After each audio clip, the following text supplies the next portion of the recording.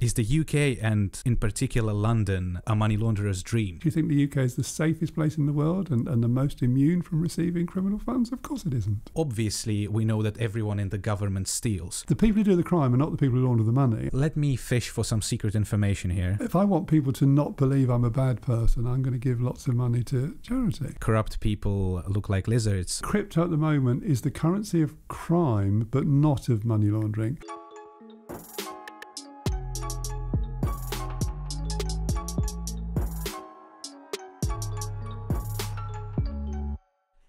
Hi everyone, my name is Andre. Welcome to another episode of our video podcast about things, and thank you very much for tuning in. If you are currently listening to an audio version of this podcast, uh, please make sure you check out our YouTube channel as well. It's About Things Podcast. If you are currently watching this on YouTube, uh, please make sure you hit the like button, uh, subscribe to our channel, write a comment if you like the video um, and share this video with your friends. Our guest today is Graham Barrow, uh, an anti-money laundering expert who previously worked in financial services for a really long time and is uh, currently working with uh, various NGOs and banks, helping helping them to target this issue. Uh, he's also a co-founder of the Dark Money Files, uh, uh, an educational platform focusing on money laundering, and an extremely insightful podcast with the same name. Um, thank you very much for coming on. Well, thank you for inviting me. It's a pleasure to be here. So, to maybe just start with a sort of simple thing for our listeners and viewers who do not necessarily, uh, you know, are not necessarily familiar with this topic. Um, what does the dark money in the dark money file stand for? What does it mean? Dark money.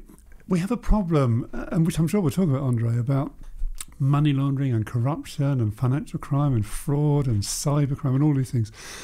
And coming up with a definition for all of those things quite hard. And we just decided we're just going to use this expression dark money. And what we mean by dark money is simply money that enters the system that you can't definitively say you know where it comes from.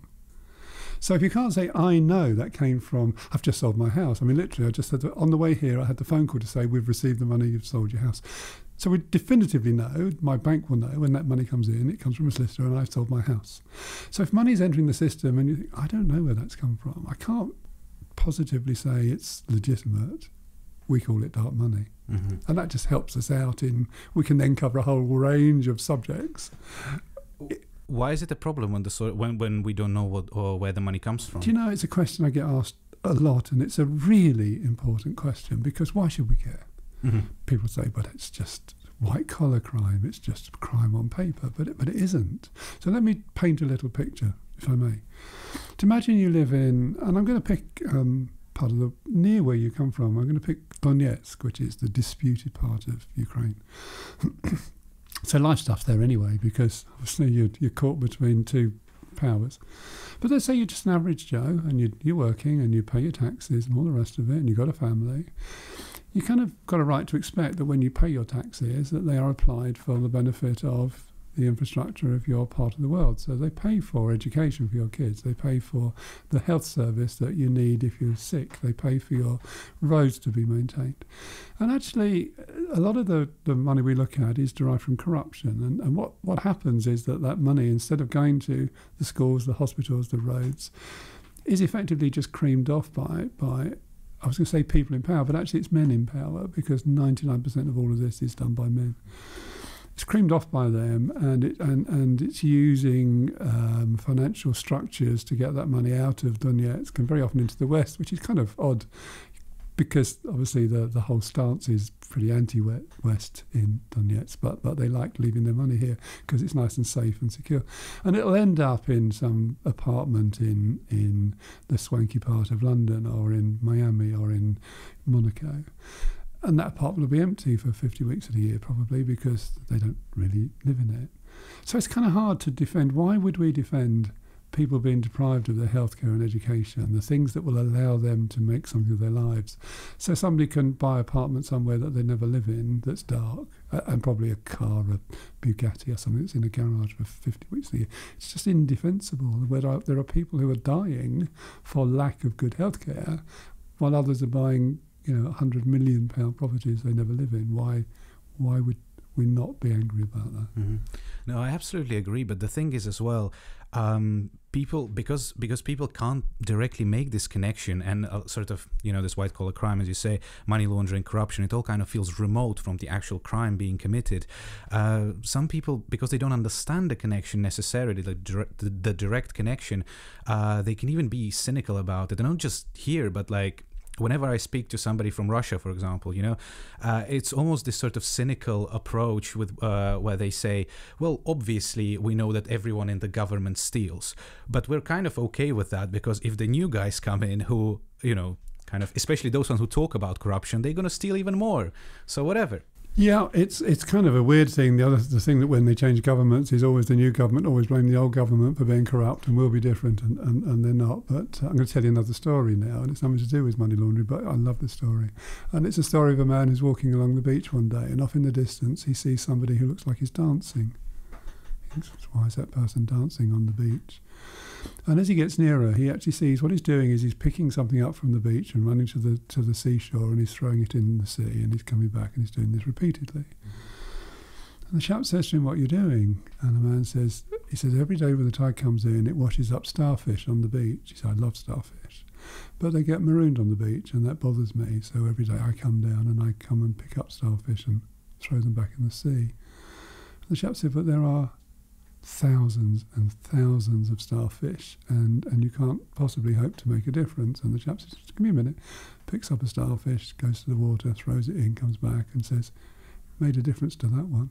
Mm. And, and that's the only approach I can take. Uh, it's like eating an elephant, you can't eat it in one go, you have to eat it bite by bite. And, and my suggestion, if you ever want to eat an elephant, start at the front. Um, but it's a bite at a time. But but saying the problem's too big, therefore we'll do nothing about it is right. not that's not an answer. So we need to do something about it. Mm-hmm. And being on programs like this, mm-hmm. our own podcast is is our way of chipping away at that mm-hmm. um, apathy.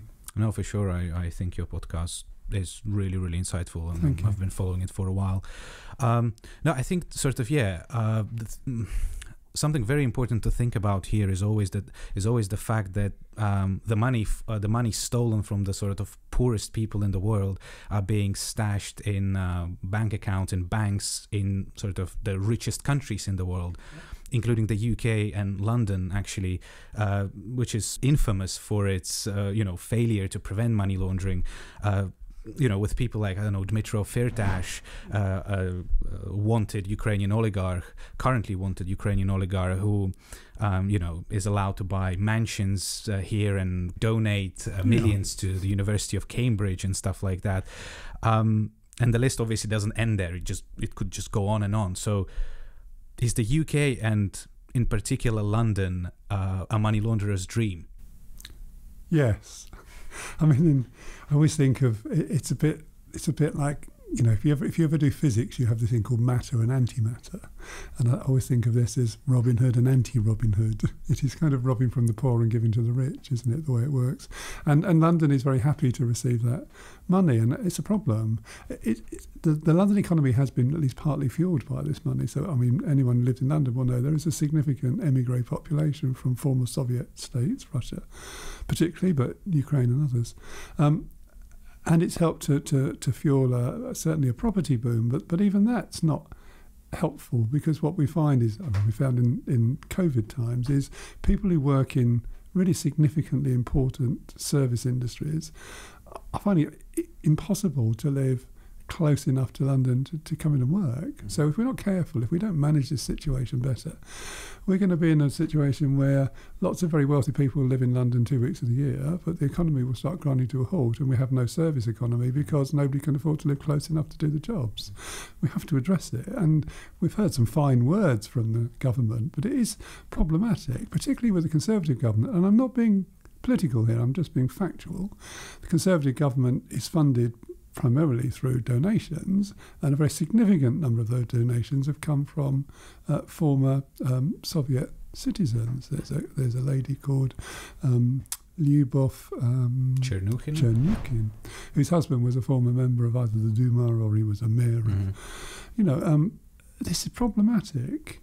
uh, given that we also have a problem with corrupt money coming from the same areas that a lot of the donations are coming from. So I'm not I'm not directly accusing anybody, but it does present something of a conflict of interest. I do have an issue sometimes, and I kind of understand sometimes what, when the Conservative Party sort of defends itself in this in this scenario because they because um, this Lyubov Chernukhina, for example, as far as I understand, she's a wife of a person who used to be either a, like who used to hold like a very very senior position uh, within the Russian government, even. But that was like really really long time ago, and I and I think then he fell out with the uh, political establishment and sort of uh, there was a criminal case even opened against him, and that's why he moved away. Yeah. So there's always this sort of important. Um, for me, at least, there's I think there's an important distinction to to make between uh, somebody being dangerous just because he's Russian or somebody being dangerous for an actual. I, I absolutely understand, and, and, and I think potentially over time I've become a little bit cynical about these things because it's certainly not unknown for these um, confrontations to be engineered solely for the benefit of getting into court and having these often there's significant settlements and therefore that settlement involves the transfer of funds to settle mm-hmm. they fall outside of the uh, money laundering regime, right. so we don't have to do due diligence on those. So, um, you know, it could be politically advantageous to, to have those sorts of apparent fallings out. I am not for a minute suggesting that Mr. Chernukhin didn't actually fall out with the powers that be. But, you know, we have to tread carefully here because we do understand that, um, you know, m- most countries, including our own, run dirty ops campaigns. Of course, Russia now has a reputation through you know, incidents like Alexander Litvinenko and, and more recently um, the Salisbury escapade with the Skripals and others of, of running these, I think they're called wet work campaigns. Um, and that just makes life difficult to distinguish between what is genuinely somebody who has fallen out with a regime and is now a friend of the West, and somebody who apparently has, and but but potentially is is not a friend of the West. I'm not at all well placed to answer those, but I just think sadly, if you work in my world, a healthy dose of cynicism is actually an important thing to have. Um, so if we come back to the whole to the whole question about whether London is a money launderer's dream or not, I think, uh, and as you mentioned as well, there was some sort of efforts to sort of uh, tackle this issue. Uh, so, for example, uh, you know, the whole um, idea to introduce Companies House uh, to sort of mm, uh, you know initiate a little bit of a little bit more of transparency into into uh, companies to make them file uh, you know financial accounts etc uh, however there's been a lot of criticism coming from you and yep. people and people like you uh, regarding Companies House in particular. And so what do you think what, what do you think is wrong with that? Um, so i'm going to be careful to distinguish between the people who work at Companies House who are wonderful people and i actually work um, uh, with or, or, talk to, and they do the best that they can. They're constrained because they they operate under a 170 year old charter, which wasn't designed or written at a time when any of these problems were even dreamed about. So they're constrained because Companies House is a register, and I, am not sure people fully understand the difference. It is not a, a regulated body. It's not like the Financial Conduct Authority. It's not like the Bank of England. It is solely a register of companies, and they don't do any checks at all, and neither are they allowed to. Now that's currently under review. Um, oddly, um, I won't be getting there because we're recording this session, but there is, uh, I, I, attend regular Companies House stakeholder meetings where they report back on how that um, review is going. Now, at the moment, we have a problem because the government, having announced they would do all this reform of Companies House, didn't include in the Queen's speech very recently uh, any sign of resources being made available to do it. But at the moment, we have a super transparent corporate registry, uh, which I'd use every single day to great advantage. And in some respects, the poor quality of the information there is its own usefulness because it, it helps to highlight some some uh, inequalities or ambiguities which point to some potential suspicion. So, so it's not the end of the world but the thing about London is, yeah, we've started this process. We're opening up Companies House. It's a good thing. Um, the EU have, have said that all EU member states must do something very similar. We have a peculiar legal system in the UK, which is another reason why we attract so much of this dirty money because you can sue people into silence and you need very little contact with the UK to be able to institute proceedings in the UK. And it's not unknown for extremely wealthy people to use their wealth and some very expensive lawyers um, to to stop um, investigations from even beginning. So Isn't that what's what's currently happening to uh, Catherine Belton, the author of, of uh, well, Putin's people. Putin's people Putin's exactly People. where she sort of uh, you know tracks it's actually by the way it's an amazing book and i It is. recommend it to everyone it's I a great piece of particularly remember, uh, I recommend chapter five. There's some really good quotes in right chapter five of some bloke talking about limited liability right partnerships. so so she's currently being sued She by like i don't know f- multiple multiple russian oligar- is. oligarchs including roman abramovich Okay. uh, Yes. famously the owner of chelsea Yeah. um so is this is this sort of an example where people are trying to trying to sue her and do you think do you think they will succeed Um, it'll be interesting. I think some of them are are doomed to failure. They are they are just um, flippant kind of cases where people are trying to engineer a case. Um, and she's got the full backing of her publishers, which is fantastic. I actually, I, I you know, I, I know Catherine. We've spoken on many occasions, so I was being slightly flippant about the quote, but but I did provide her with some background information when she was writing Putin's People, so kind of aware of that.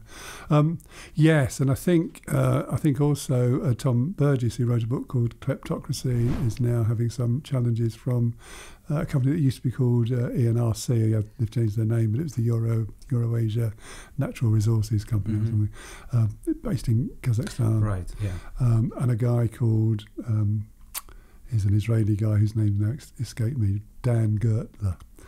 Um, so I think he's now facing some court cases as well. So it is a problem in, in London, and it's another reason why we attract so much of this money, is because it comes with the um, you know with the added bonus of, of having a very malleable um, legal system. Well, uh, coming back to Companies House and sort of the um, uh, the whole the whole idea how it's not actually a regulator and they're they're not actually required uh, required to check anything any information, uh, which can result into financial uh, financial accounts being fake, Yeah. right? And famously um, signed by Ali Moulaye as your your your dear friend. My dear friend. Yes.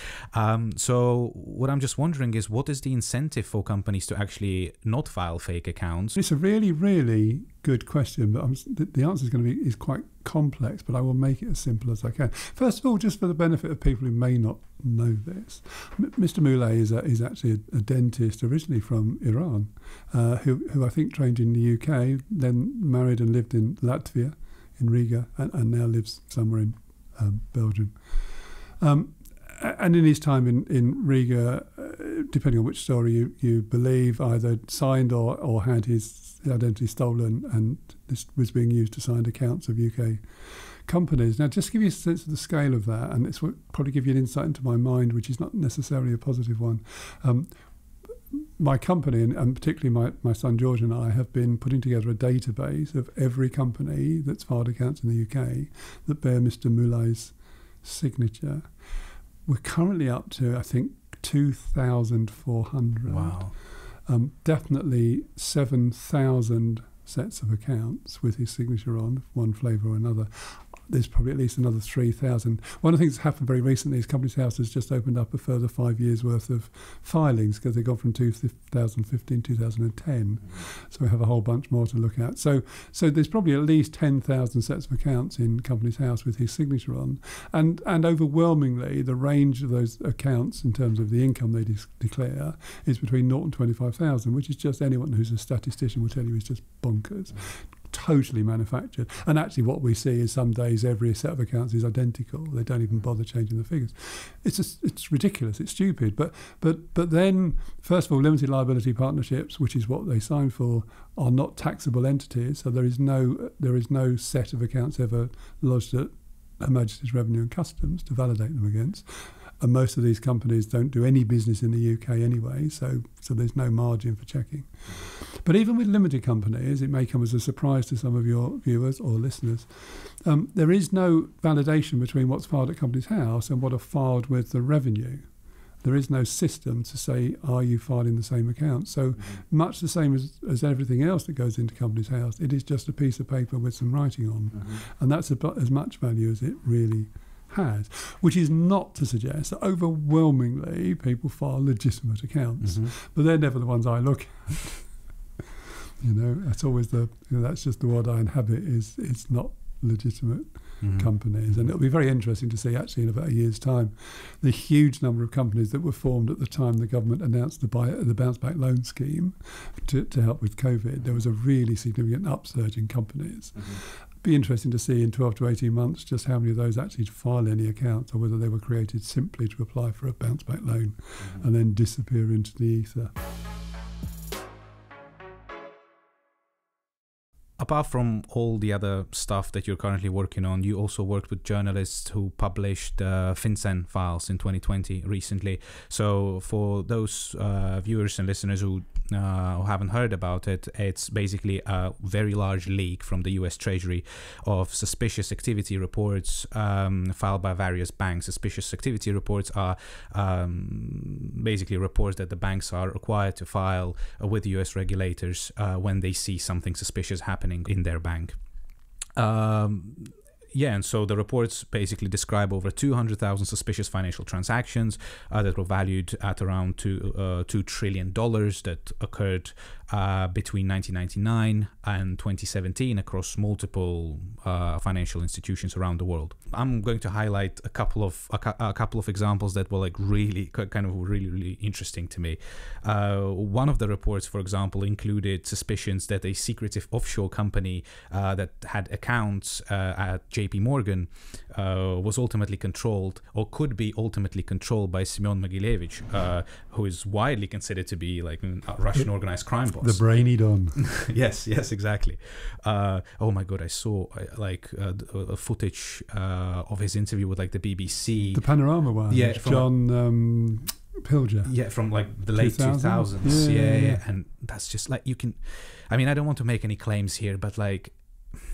Uh, his appearance kind of uh, gives it away. I'm, Yeah. I'm, I'm sorry. Yeah, Like you Yeah. don't need much more. but, but that's the sign of a man who has no fear, isn't it? yeah of, exactly of course you can put it that way you can put it that way uh, apart from that at the same time uh, another report suggested barclays uh, worked with a company that uh, once again uh, was used to buy like expensive art by the sanctioned uh, Rotenberg brothers, uh, famously the judo partners the childhood friends of the Russian President Vladimir Putin, who conveniently win many government contracts in Russia as well, apart from being sanctioned.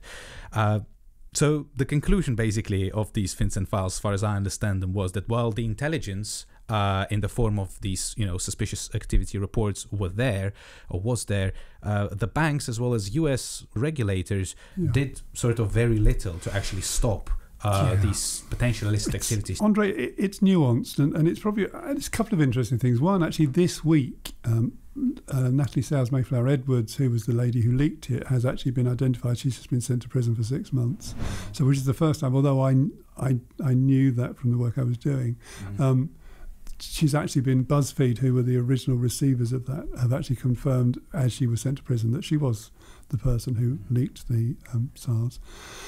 It, it is really just want to give a background to that because it's it, it, the SARS were a very special set of SARS, and they were actually gathered together at the request of um, the um, uh, the Trump dossier team, that the FBI team headed up by the chap whose name has now just gone straight out of my head, former head of the FBI, and I can't think what his name was, the um, Lordy, the guy who ran that whole inquiry into the Trump. Mueller, Mueller, Yeah. thank you, Robert Mueller. Robert Mueller. Yeah. Um, he asked for uh, any SARS that might relate to uh, known uh, Russian connections with Trump. Or um, so, so there was about eleven or twelve hundred of these SARS that were gathered together, and, and they were the ones that were leaked to to um, uh, to BuzzFeed. So they form a very specific subset of the of the two million that are filed every year in the USA. And, and all of them are, are what are known as correspondent banking SARS. So, without going into too much depth, these relate to transactions that were not actually done by clients of the reporting bank. They were done by clients of the bank who uses the reporting bank to, trans- to, to, to, to move dollars around the world. So, so, for example, the JP Morgan one, JP Morgan was acting as a correspondent to the bank who were banking these companies. Right. Now, uh, I mean, there is a story there, and one of the things you think, well, this is ridiculous, and, and very often these SARS are highly retrospective. They were being filed long after the activity had happened, which is why nothing ever happened because it had already been and gone. And there's one, I, I, have the great pleasure of knowing a gentleman called Paul Radu, and Paul is the head of, a, of an organisation called the Organised Crime and Corruption Reporting Project, and, and he does deserve people's um, astonished praise because he has actually gone undercover in places like Medellin to, to report on narco. Wow. Think, well, wow. exactly. Yeah, exactly. I sit at a computer and, and search the internet. It's not quite the same, is it?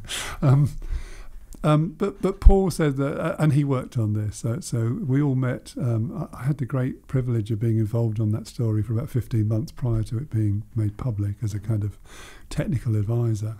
And I, I met with the entire team over in Hamburg about a year before the story broke. And and and that that particular one, um, J.P. Morgan cottoned on to the fact that uh, Semyon Mogilevich um, was potentially involved because it read some reporting which ultimately had come from an OCCRP story. And then so Paul was saying it's really weird, but I'm reporting on a SAR that was generated because of reporting we did previously mm-hmm. on a story that JP Morgan probably wouldn't have known about but for that reporting. So, and that's an issue because it means actually the banks are identifying suspicious activity based on the work of investigative journalists who are publishing stories that then leads the bank to think, oh, we ought to have a look at that. Right. And JP Morgan was slightly put out to find that actually when they did look, they found more than a billion dollars relating to this company that, that ostensibly was ultimately owned and controlled by Mogilevich. Um, so was it actually controlled by Mogilevich? Was it like? Oh, I wouldn't want to say that. I'll never drink tea again if I if I was. Um, certainly there is there is very good quality circumstantial evidence to say that, that okay. Mogilevich was was the um, was the ultimate beneficial owner. Mm-hmm. It actually came. There's a there's a, a, a Russian website called RUMafia.com, mm-hmm. um, which, which just publishes stories about potential Russian mafia. So obviously they're quite interested in Mr. Mogilevich, as he is alleged to be mm-hmm. um, a very significant um, head of a very significant right. Um, uh, gang. He disagrees. Yeah, he, he vehemently disagrees, yeah, and yeah. says he's an honest man, has, has never done a dishonest day's work in his life. That's what he says. Yes, he does. Right. Uh, and and fair play to him to do that with a straight face. Uh, yes, yeah. Um, well, okay. Um, from what you're describing, though, it seems like there is a significant degree of ignorance going on, uh, at the very least, at the very best, I would say. Um, yes. Uh, so, would do you think when J.P. Morgan sort of realized this from you know some investigative reporting that was done, uh, because they didn't bother or hadn't bothered to actually check who the ultimate owner of the company was. Did they did they then stop sort of uh, working with this uh, working with this company? Or Nothing to stop by then because it had been gone and finished. So right, um, right. so, so that's one of the issues. Right. Um, I mean, it is possibly one of the more embarrassing sentences that, that was published. Is is actually within the SAR. J.P. Morgan had to admit that they were not completely sure who the ultimate beneficial right. owner of the entity was. Now they were the correspondent, but but it's still really important because mm because they have they have duties around right. sanctions as well as money laundering. And if somebody's a sanctioned individual, their details should be known. And if if you're transacting business on behalf of somebody who's sanctioned, you're not allowed to do it, and you have to put a freeze on it. So, so to be actually doing business, and, and, and a number of the SARs across more than one organisation mm-hmm. identified, and there was a there was a really extraordinary exchange of emails between Barclays in the US and Barclays in London, where US Barclays were asking London Barclays for additional information, and they were saying, "We don't actually know." Wow. Which okay. is you just you don't so, want to see that. So this is something I actually wanted to ask you. Do you think this is a result of? Uh, and I know you don't want to make any direct claims or anything like that, but do you think this is a result of? deliberate sort of deliberate nefarious action in which they uh, they suspect that there there might be something somebody very very bad or potentially very very bad or sanctioned or whatever owning this particular company and they choose not to find out that information or is it just ignorance and somebody doing their job very badly? because it would be a, a proper you know English kind of compromise approach. It's always probably a bit of both. Right. Um, I think it's probably worth just contextualizing. Uh, one of the things that I, I, do a lot on the education side of the work we do mm-hmm. is to talk about risk. So, so, so financial institutions face huge numbers of different risks, not just this risk that they'll process laundered money, but credit risk and exchange rate risk and reputational risk. But let's talk about credit risk. Now, what does credit risk mean? Credit risk is is where you lend somebody some money and they they default on that loan.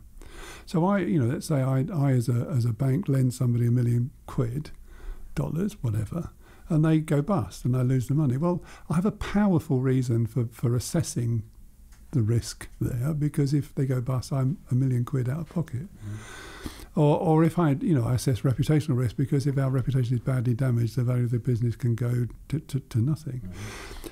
Money laundering risk isn't quite like that. And let's take Danske Bank, which we may well talk about, but let's bring it into the conversation. Danske Bank had this branch in Estonia, which over the period of seven years managed to put $230 billion through that one branch of a bank, which was just about equivalent to the entire Estonian GDP for that seven years, which was unbelievably profitable. And that's the issue, is that money laundering, actually, in a way, banks make money because they process all that money and they get a fee for it. Mm-hmm. Now, obviously, you get found out, you suffer reputational damage, and Danske is going through that pain at the moment. Mm-hmm. And of course, the, the people who put that money through are, are people who are paid at least partly on results, and therefore they have a powerful incentive not to find it. I work with a whole bunch of software companies who are producing some really fascinating artificial intelligence engines. But I have to keep pointing out to them, you know, they, they think it's going to change the world. I said, no, you've got to think, well, you're going to go to a bank and you're going to say, we've got this really expensive software and it's so good, it's going to start um, helping you to not do business with a whole bunch of people. It's not necessarily the best sales line in the world, isn't it? We want you to pay lots of money for our software so you can do less business. Mm-hmm. And that's what you're up against. So uh, when I say it's a combination of willful ignorance and turning a blind eye, and often conspiracy, because we also know in Estonia that 13 of the bank staff have been arrested mm-hmm. for conspiring with person or persons unknown to help to launder this money. It's a whole combination of all things. And on top of that, you have this extraordinary thing called confirmation bias, which is worth a whole episode all on its own, which is that people interpret the facts that are presented to them in a way that meets their existing view of the world because they don't want to be finding out that their existing view of the world is is a, is a falsity and they need to reorient it. Mm-hmm. Um, this actually takes us to uh, another sort of one big problem for itself, which are Western enablers, mm. uh, because I think this is a very similar um, modus operandi basically that they have that you just described and then um, you know when we have estonia uh, it sort of you know it doesn't have the best reputation in terms of money laundering etc in, in, general baltic states don't have uh, the best reputation in terms of sort of uh, you know their financial systems. Uh, but if we if we if we talk about like some Western institutions and what kind of clients they, for example, work with and choose to work with, uh, when let's say, for example, they have a a particularly high uh, risk appetite, and I'm sure.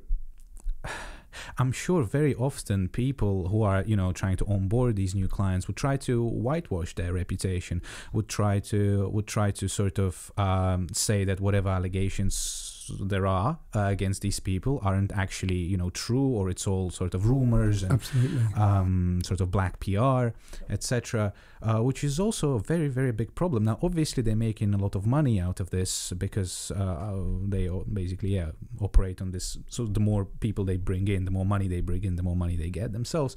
But this is a really really big sort of problem when you yep. just choose to do that uh, willingly. And I think that already kind of um, takes you to the you know when when you say it's a little bit of both between whether it's a nefarious action or whether it, like sort of deliberate ignorance or accidental ignorance. Um, I think some people actually try to make it look like uh, try to make their deliberate ignorance look like it's an accidental ignorance. I couldn't agree more. Which I think is a very big problem. Uh, actually, I'll share another story with you. I'm not going to name the financial institution, but a well-known private bank. Um, at the time I was doing this piece of work had an office in Zurich and it had a very significant Central and Eastern European desk. Um, and I was doing some training on uh, enhanced due diligence when you take on what we call PEPs, politically exposed persons. So these are people who've worked in significant offices in government. And I was doing this piece of training, and it was only about an hour and a half, but I couldn't help, about 20 minutes in, the head of the Central and Eastern European desk, guy called Yevgeny, um, was just kind of slumped in his chair looking at the ceiling, you know. And I wouldn't say I'm, a, I'm an expert on body language, but I would have said he'd disengaged with the training. Mm-hmm. Um, so I stopped and said, you know, you, you, you, don't really seem to be very engaged in this. He said, oh, I don't need this training. Okay, it's just really important about enhanced due diligence. I don't need to do enhanced due diligence. really? No, no, no. He said, I- I know my customers better than any enhanced due diligence will ever tell you. Said, that's extraordinary. How, how do you manage that? He said, I have lunch with these people once or twice a year. Come on, Okay. Evgeny. Come on. Evgeny. Um, so then I said, look, th- th- th- let me just ask you a question, Evgeny. I just want you to imagine for a minute you were a you were a corrupt politician or a, or the head of an organised criminal gang. I just for just for imagine, I'm going to call you Semyon just for the, for the sake of a name. Um, and you had huge amounts of money to launder. Said, just out of interest, who would be the first person you'd want to befriend? He said, oh, well, my banker, of course. And then as he said it, you realised, well, it said, oh, yeah, yeah, um, but because you know uh, there are there are things that these people do. One is that they will, and one of the reasons why we have very strict gifts and entertainment policies now is that they will lavish huge amounts of money on people that they want to be on their side. They want them to be kind of um, taken over, if you like. They want their loyalty to be to the customer and not to the bank. Um, they they will, and they'll be philanthropic. I mean, one of the really odd things about significant corrupt people is the amount of money they give to charity. But that's we call that reputation laundering, Mhm. which is if I want people to not believe I'm a bad person, I'm going to give lots of money to charity. Now, obviously, lots of good people. I mean, people like Bill Gates and that. Are, I'm not suggesting for a minute he's a he's a bad person, but quite a lot of bad people, for example, pay huge amounts of money to have a game of tennis with Boris Johnson. you know? Right. Not that they particularly want to have a game of tennis with Boris Johnson, but it's a way of looking good. Or, or they'll create a, you know, a, a, a, they'll endow a college at Mhm. Oxford or Cambridge because because we all want to think they're good people, and some of them are. Don't get me wrong. That's quite interesting that this Yevgeny said sa- sa- said this to you because you know I definitely ask Yevgeny. Yevgeny, do you think that do you think that corrupt people look like lizards, or do they have like differently shaped heads or horns and Exactly. stuff like that? Um, obviously they don't, and obviously they can turn out to be the friendliest people you can possibly meet. Yeah, and it, So- it didn't help. That particular bank then got fined about 700 million Okay. Swiss francs for, for turning out well, I'm not even going to say turning a blind eye, for being involved in what's become known as the 1MDB scandal. Um, and frankly, I mean, there's an email trail which, which just beggars belief of how they were managed to convince themselves that the 700 odd whatever million instead of the 70 million that they were expecting wasn't a problem. And it's just, oh, yeah, no, these things happen, you know. Too bad, Yevgeny. It's just, Does, yeah. does he still work there? Do you think? I, I, I, I don't know. They've changed hands since. So it's, uh, Right, they're- okay. they're- they're- Yeah. Okay, understood. Um, also, um, another thing that I've sort of heard you say quite a lot uh, when you gave interviews regarding this FinCEN FinCEN leak, uh, you were saying you were saying things like that uh, banks what they what they choose to do is that they choose to keep the regulator happy rather than doing what they should actually be doing. And I'm not sure I'm actually very clear on that. I don't actually. Um, could you maybe give a, give us an example of where you know where would this be uh, uh, applicable? We've already mentioned SARS. Obviously, the FinCENs mm. were SARS. So, so what? One of the measures that's often made against banks is they will look at what, what we call key risk indicators, which is kind of boring jargon for how can we evidence the bank is taking all of this seriously. And and one of the key risk indicators will be the level of suspicious activity reporting that the, the bank does, because in a way, kind of the more they do, the more they're taking it seriously. I don't think that's true, actually, because we end up with what's known as defensive SAR reporting, which is, if in doubt, file a SAR. Um, and here in the UK, something approaching 600,000 SARs are filed now every year. Now, you remember that the, the, the National Crime Agency, which which is our, they're called financial intelligence units, but the financial is housed at the National Crime Agency, and they have about 120 people working there. Now, if you do the maths, that means that they're all handling huge numbers of SARs every day. Now let's look at the amount of asset forfeitures we have in the UK, and I think last year it was something like 136 million quid. Now, if you look at it, we have a thing called the National Threat Assessment, which is just looking at the, the big picture. And I think most estimates are somewhere around 80 to 100 billion is laundered through the UK every year. So if you do your sums and you look at 600,000 SARS and 136 million of, of asset forfeitures, you'd come to the conclusion that's an awful lot of sales for very little action. And that's what I mean, really, is that is that ultimately banks are far more focused on on ticking the boxes and producing the paperwork that demonstrates to a regular that you're following regulator, sorry, that you're following the rules, mm-hmm. rather than actually focusing on doing something about stopping the real flows of money. So it all becomes about avoiding the fine and not stopping the criminal financial flows. And that's true actually not just at a national but a supranational level. We have we have supranational things called mutual evaluation reports by by the grandly titled Financial Action Task Force, uh, which have been going on since 1989, where I think we're on round seven of them. Can I point to anything that's actually made any difference to the flow of criminal funds around the world? No, because because countries now go out of their way to get a good evaluation report, and, and we here in the UK got the best one ever in 2018 and 19. And yet, are somebody, do you think the UK is the safest place in the world and, and the most immune from receiving criminal funds? Of course it isn't. So there's just, there's no, you cannot correlate actual action against criminality and the f- flows of dark money with the measures that are put in place allegedly to see whether countries or companies are conforming to the rules uh, what do you think the measures should be, at least in the UK? Um, what yeah, what should be in place to sort of avoid this situation? Well, in a way, looking them on a country by country basis is futile. Uh, and the reason it's futile is I have a, a, good friend called Oliver Bullough who, who wrote a book called Moneyland. And if, if anyone's interested, yeah. just read the book. It's a great book. It is a fabulous book and it's so accessible. Mm-hmm. And it's got a golden toilet in it. I mean, what book would you not want to read that's got a golden toilet in it? it One just, of my favourite parts about the golden toilet. Uh, Mr. Yanukovych is just a source of so many um, uh, interesting stories. Anyway, um, but Oliver, uh, his whole thesis is that is that while law enforcement, of course, respects uh, country borders, dirty money doesn't. Uh, that's why he, came up with this idea of Moneyland, which exists in this world where there are no borders. It can be in two places at once. Uh, you know, you can have a company that's, that, that's formed in the UK but is controlled in, in Nevis, which is this little island in the Caribbean, which is one of the most secretive places you can be.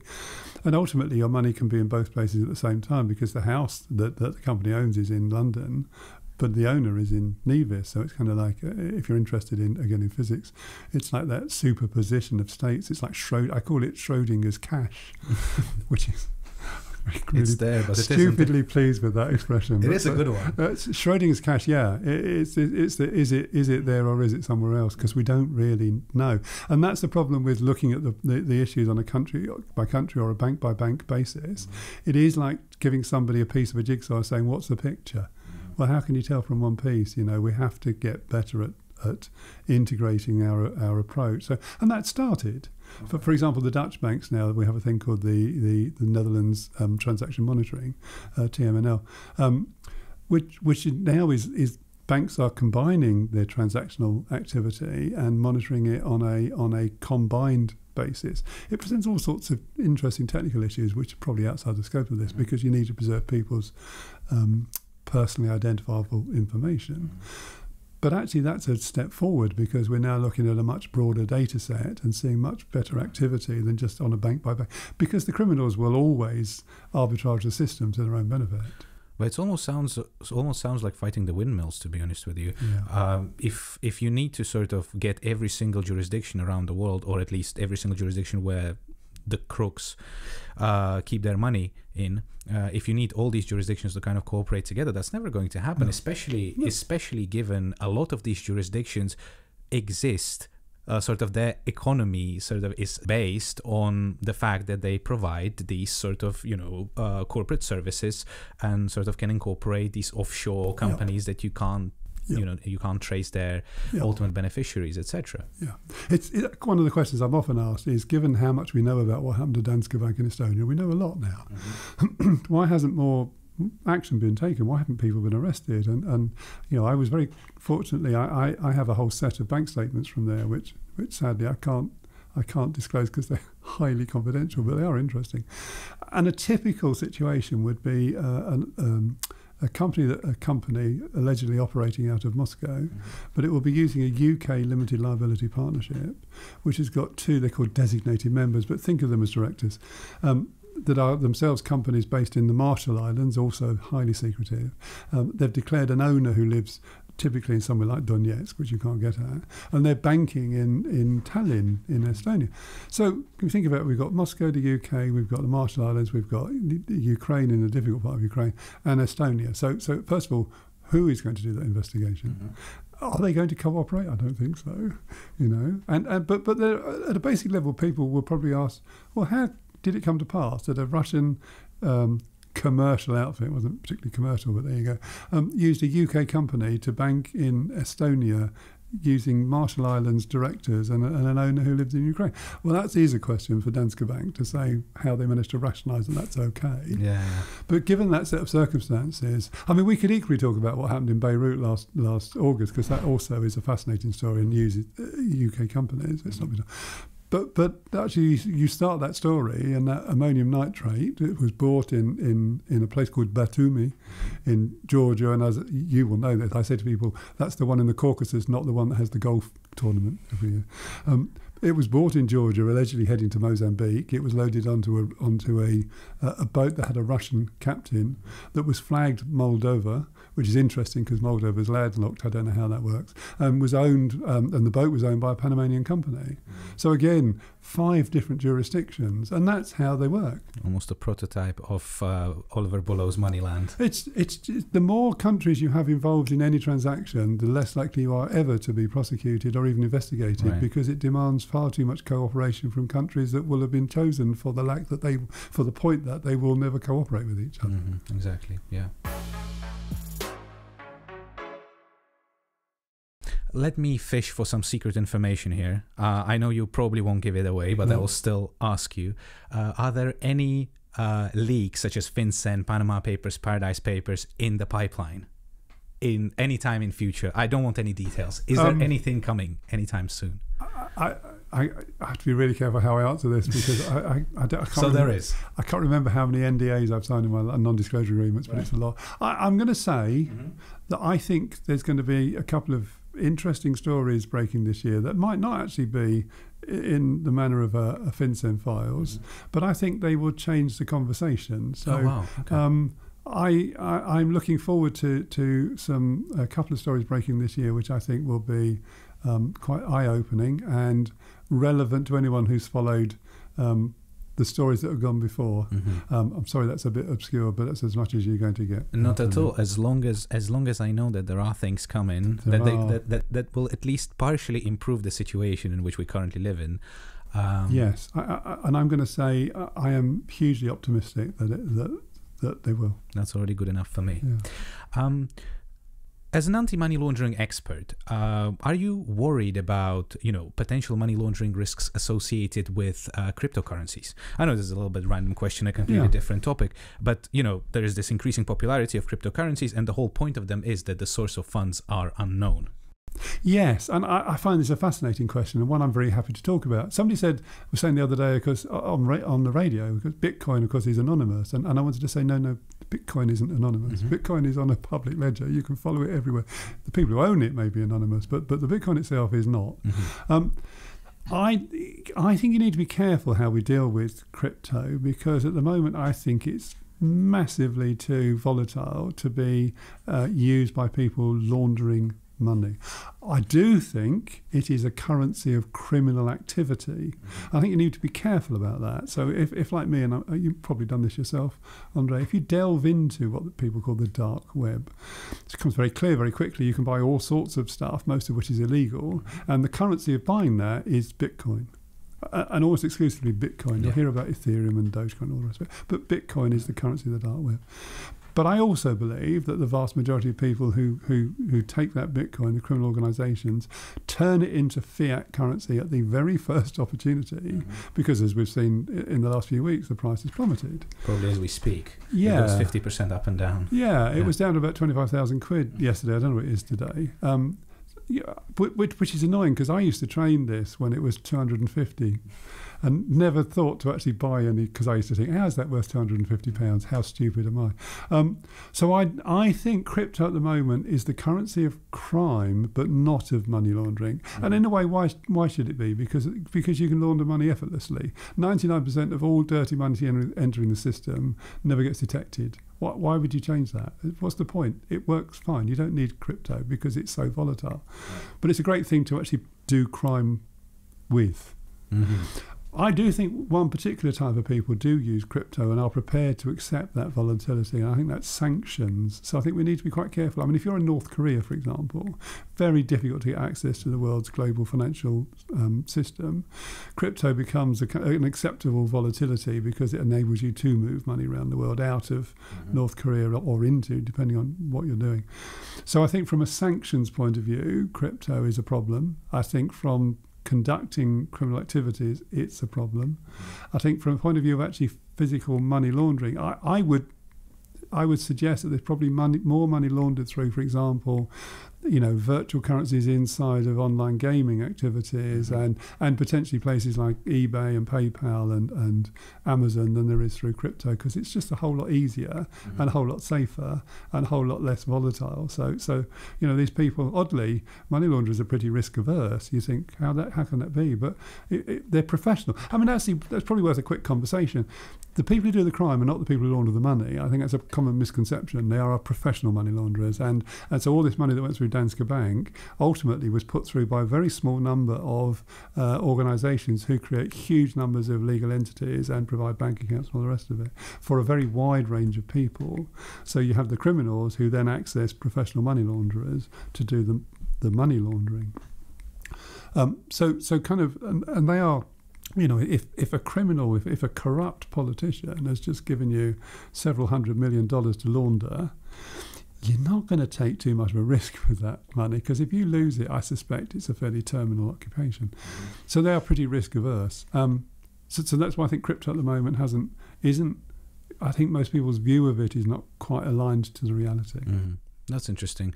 Um, also, uh, you know, a lot of people are criticizing it, but actually, in some authoritarian regimes, for example, crypto is used uh, in in a positive way, and I'm sure Bitcoin, can, Bitcoin in particular, can be used in many positive ways. For example, the Anti-Corruption Foundation Alexei, Alexei Navalny's organization in Russia has been funded for a really long time by by bitcoins because the donation were made in bitcoins because a lot of its accounts were constantly being frozen, etc. So it was much easier to. Absolutely. to I think I think blockchain. I think stable um, virtual currencies on a blockchain have all sorts of potentially massive. I mean, if you think about foreign aid, if we were able to give foreign aid via a blockchain technology, it would be really hard to steal that without people knowing it's been stolen because the whole point about a public ledger is you can track the movement of that money. Mm-hmm. So, so if you're giving aid to a country and it's on a on a some sort of virtual currency on a blockchain, try stealing that because we'll know. I just think there are huge potential benefits. I mean, blockchain, and it's a bit like it's a bit like websites and the internet. Uh, people don't necessarily understand the difference between blockchain and c- currencies. I mean, one is a one is an infrastructure and one is something that sits on the infrastructure. Mm-hmm. A bit like a website sits on the World Wide Web and, and a currency sits on a blockchain. Blockchain, I think, just got huge, huge opportunities and advantages. And it's a, it's a bit of a shame that Bitcoin has probably muddied the waters to some degree, but. Um, Graham, thank you very much for this. It's been a great pleasure speaking with you. Um, there was always there's there's this one question that we always ask at the end of each episode. Uh, uh, so, and this question is: if there was one thing in the world that you could change, what would it be? See, my initial reaction was would be my date of birth. right. Fair enough. I'd bring it forward a few years. But um, I think the one thing I would change, I'd, I'd, go back to 1989 and I would restructure the Financial Action Task Force differently. I think, okay. I mean, you've got to remember it was brought into being for a very specific reason, which was a massive drugs problem at mm-hmm. the time. It was for nothing else. But, but if we, knowing what we know now, if we'd have gone back to 1989 and changed something, I would have structured it so it wasn't a, a country by country organisation. It was a proper supranational organisation mm-hmm. that actually looked at countries in, in networks, so that we weren't, so that the whole point of it was to see the interoperability between or interactions between different countries, and and assess it on that basis because it would change, I think, overnight mm-hmm. how we view dirty money flowing around the world. Oh, interesting. But that would be also quite difficult to do, no? Because a lot of countries would have their own issues with their sovereignty and stuff yeah, like that. It would bring them into um, into focus, wouldn't mm-hmm. it? But but yeah, I would. And even if you can't do it globally, I, I just would have wanted to, to have a much more integrated approach. Mm-hmm. Because at the moment, uh, uh, even now, here we are. What are we? You know, forty years later, near enough, thirty-five, years, and we're still thinking on a country by country basis, and, and that's just not the problem, and we have to change that. Right. it, it is the great um, anomaly of, of, of